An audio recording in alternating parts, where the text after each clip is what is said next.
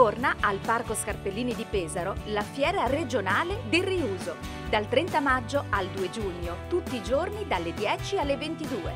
Musica e colori per far da cornice al più grande mercato del riuso. Stand gastronomici, spettacoli e tanto altro.